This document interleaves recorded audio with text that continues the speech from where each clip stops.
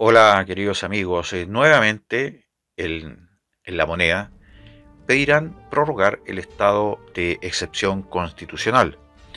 Eh, pedirán una nueva prórroga. ¿Recuerdan ustedes cómo criticaban al presidente Sebastián Piñera cuando decretaba los estados de excepción constitucional, que eso no podía ser, porque no había que militarizar el Gualmapu, decían, ¿recuerdan ustedes? Claro, y bueno, diariamente comprobamos que esta gente se está dando cuenta que otra cosa es con guitarra. Lamentablemente sí, ellos ocupan estos estados de excepción constitucional acotados. La moneda pedirá al Congreso prorrogar una vez más el estado de emergencia en la macrozona sur. La moneda eh, lo hará ya por... será, no sé qué veces, después vamos a contar cuántas veces ya han pedido prorrogar el estado de excepción constitucional. Y esta vez lo harán una vez más. Eh, en, medio de este escenario político incierto y en la, en la derecha o en la parte conservadora está aumentando el descontento por el uso acotado de la herramienta, mientras que en el oficialismo, es decir, los partidos del Frente Amplio, los partidos comunistas, etc., exigen que las Fuerzas Armadas y de orden cumplan con los protocolos. Es decir, las quieren todas, quieren que las Fuerzas Armadas cumplan con los protocolos, pero que eh, no se sobrepasen, que se eh, den vuelta solamente en este estado de excepción acotado. Ayer la ministra del Interior, Isquia Siches, respaldó a los carabineros. Isquia Siches respaldando a los carabineros. Luego de un procedimiento que terminó con tres comuneros mapuches heridos. Claro, pues sí, salieron a dispararle a los carabineros. Los carabineros lo mínimo que pueden hacer es defenderse no es como que lo, mínimo que se le que el mínimo beneficio que se les da que se defiendan, ¿no es así? El Congreso Nacional, por su parte, tendrá que definir si da a luz verde por tercera vez a una prórroga de 15 días más del estado de excepción constitucional en la macrozona sur. Pero este estado que es bastante mentiroso, que da, ha decretado Gabriel Boric, que es este estado de excepción constitucional acotado. La medida comenzó en mayo y de acuerdo a lo indicado por la ministra del Interior Isquia Siches, le ha permitido ha permitido que los hechos eh, delictuales disminuyan en un 33%. Resulta que ahora Isquia Siches está hablando bien de las Fuerzas Armadas, esas que eran tan terribles, que, que iban a destruir prácticamente el Gualmapu. Ahora los está aplaudiendo. Es por ello que aseguró que se tomó la decisión de recomendar al señor presidente Curso firmar un decreto para extender la medida que ha sido calificada como acotada. Es decir, siempre con este temor de que no se vaya a molestar al parecer esta gente que está causando la insurrección en la Araucanía. El escenario es incierto, al igual que las otras dos votaciones anteriores, pese a que finalmente todo se alinea y se termina aprobando el diputado de Acción Humanista Tomás Hirsch, el tóxico Tomás Hirsch, se mantendrá firme con su voto de abstención. Es decir, su voto de cobardía finalmente. Porque si está de acuerdo, vote apruebo. Si rechaza, vote en contra. Pero esto de mantenerse ahí entre los buenos y los malos, abstención, yo considero que esa opción de abstenerse debería estar bastante limitada en las votaciones que se realizan en el Congreso Nacional, sobre todo para temas, para temas que son tan importantes como el definir un estado de excepción constitucional, simplemente no debería dársele la opción de abstenerse. O votan o a favor o votan en contra. Gánense la plata que se les paga por lo menos a través de, la, de ejercer su voto, su derecho a voto. Mientras el jefe de bancada del Partido Socialista, Marcos Ilavaca, señaló que sus pares, salvo la diputada Emilia Nuyao, de origen mapuche, aprobarán la medida. En el oficialismo están esperando conversar con la ministra del Interior, Isquia Siches, la, promotora del Interior, Siches. Lo que buscan es garantizar ciertos aspectos como que no se vulneren los derechos humanos, es decir, los carabineros y las fuerzas militares tienen que andar eh, cuidándose, que no, no recibir un, disparo, que no los embosquen, pero tienen que estar preocupados de respetar los derechos humanos, es decir, si un subversivo les tira un, piedrazo en la cabeza, un balazo, no sé, tendrán que responderle con ositos de peluche tal vez. Al respecto se refirió el diputado de Apruebo Dignidad, ay, revuelve el estómago esto, no sé, Andrés Giordano y el parlamentario del Partido Comunista, que también revuelve el estómago, Boris Barrera.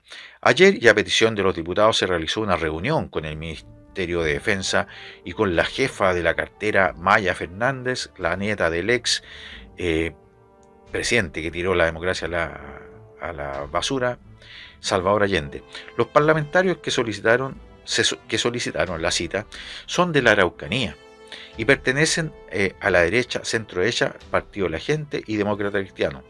Lo que se buscaba era pedirle ciertas garantías que eventualmente harían cambiar la opinión y revertir su voto.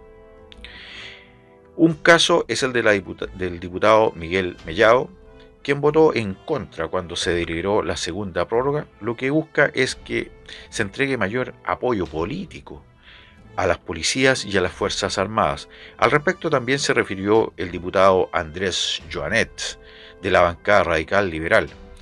Y pareciera ser que esta solicitud la hubiese conocido la ministra del Interior y Casiches desde antes. Esto ya en la mañana, antes de la cita, la secretaria de Estado respaldó a carabineros tras el enfrentamiento que se registró con la, en, la forestal de, de Arauco.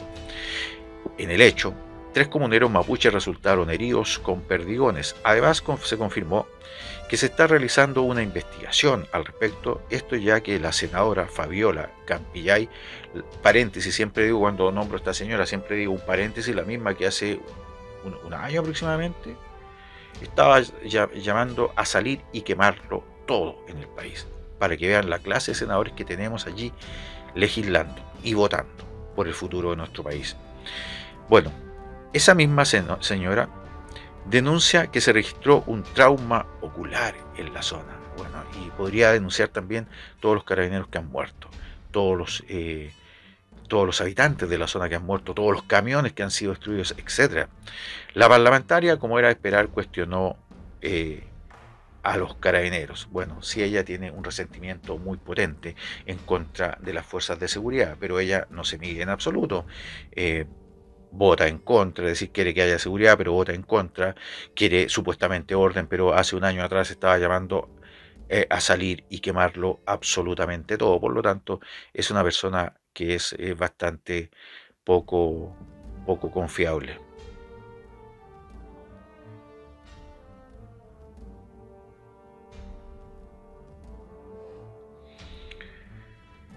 Eh, Tal vez podríamos contarles también, queridos amigos, que para terminar, terminar este, este pequeño programa, habló también el expresidente Ricardo Lagos y dijo que él se, se revelaba a ser encasillado Lagos cuenta finalmente por qué no hace público su voto de cara al plebiscito. Tras publicar una carta sobre el proceso constituyente, Ricardo Lagos aseguró que se revela a ser encasillado en una de las dos opciones del plebiscito, es decir, no le interesa, no le convence ninguna de las dos. Y dice que no escabulle los bultos, los enfrenta, dice, pero no lo voy a decir porque quiero que el ciudadano se exprese libremente. Indicó asimismo que reconoció que sabía sabía que iba a tener malos ratos por meterse en este debate. El expresidente Lagos, por lo tanto, entregó los motivos por los cuales no ha hecho pública su intención de voto de cara al plebiscito del 4 de septiembre, asegurando que se revela a ser encasillado en una de las dos opciones. En entrevista, afirmó que no importa que gane el apruebo o el rechazo en esta vuelta, porque lo que está claro es que vamos a continuar con el debate constitucional a partir del 5 de septiembre. Error error presidente Lago. Este debate que va a continuar a partir de septiembre, de septiembre para adelante, va a ser posible y va a tener sentido en la, en la lógica que gane el rechazo. Porque si gana el rechazo, a lo mejor podrán más adelante eh, programar, analizar la posibilidad de algunas reformas que no sean que no, impliquen destruir nuestro país. Eso lo van a poder hacer. Pero si gana la prueba, ellos se van a cerrar absolutamente como ostras y no van a permitir ningún tipo de reforma. No se van a mover un centímetro. Es decir, no van a terminar con este Estado plurinacional. No lo van a hacer. Van a seguir con el Estado plurinacional. Van a seguir con la eliminación del Senado. Van a seguir con la eliminación del Poder Judicial. Es decir, si acogen algo, va a ser algo absolutamente cosmético. Por lo tanto, estimado señor presidente Lago. Las opciones no son las dos como usted dice. Como usted dice, eh, que cualquiera que gane el apruebo o el rechazo en esta vuelta da lo mismo porque finalmente está claro que vamos a continuar con el debate constitucional. Ese debate constitucional para perfeccionar la constitución va a eh, surgir solamente si gana el rechazo, no si gana el apruebo. Si gana el apruebo es borrón y cuenta nueva, es decir, más bien dicho, se acaba todo. Cabe recordar que el exmandatario dio a conocer una carta el pasado martes donde insta a mantener la discusión hasta que se construya una carta fundamental que interprete a la mayoría. En ese sentido, llamó a hacer reformas independientes del resultado del. Sí, pero presidente Lago, es que, eh, es que no, no es así.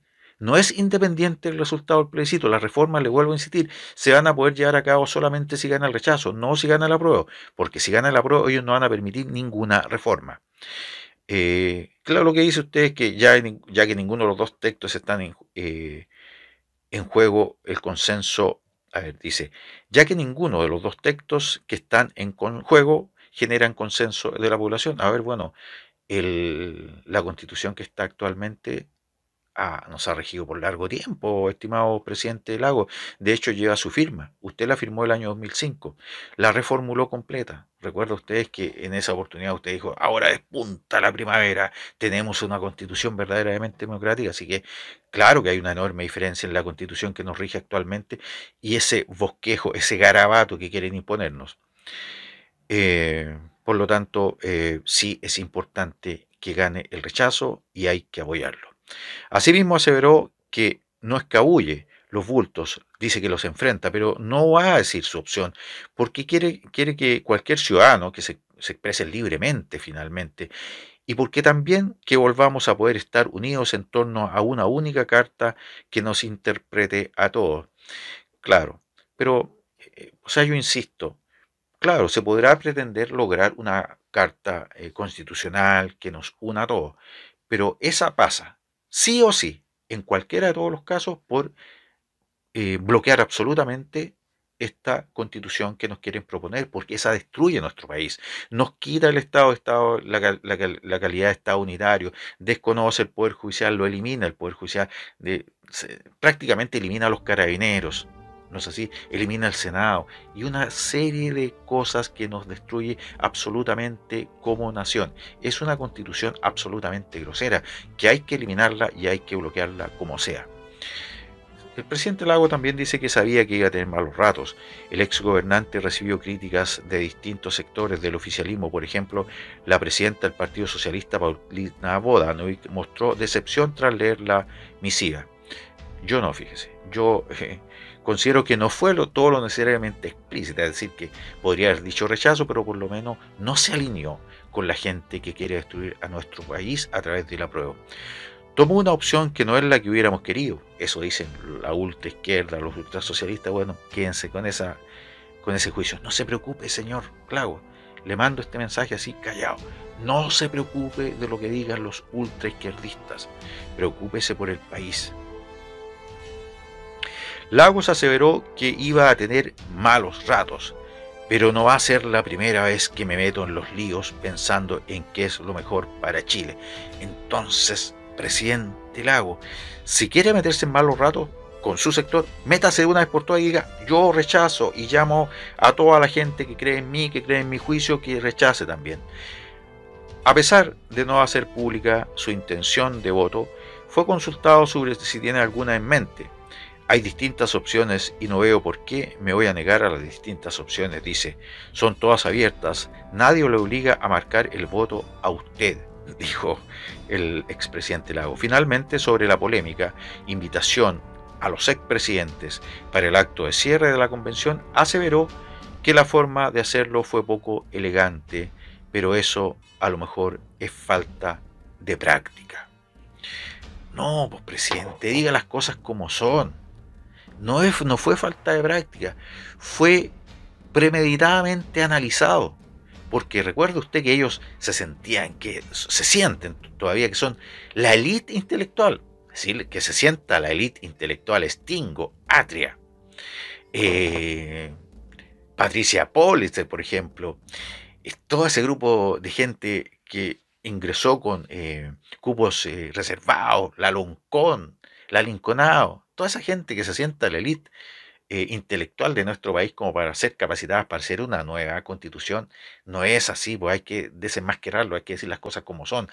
Y si no lo invitaron en primera en el primer momento a usted, presidente Lago, y a ninguno de los otros presidentes, porque ellos, ellos se sentían superior, soberbios absolutamente, que no necesitaban a ninguno de los presidentes que ha tenido Chile. Recuerden ustedes que nunca quisieron recibir tampoco al expresidente Sebastián Piñera. Ellos se sienten mucho, son prepotentes, son mal educados, son insolentes. Y por eso no los invitaron a los presidentes. Posteriormente se dieron cuenta que eh, solamente por un tema electoral convenía para ganar más votos invitarlos a ustedes y los empezaron a invitar. Pero por suerte ustedes no les aceptaron la invitación y les demostraron que eh, no era necesario ir para allá. Les quitaron ese privilegio de obtener mayor votación. Entonces, desde, ese punto de vista, esta gente prepotente se maneja solamente por intereses de voto. Actualmente están por el suelo.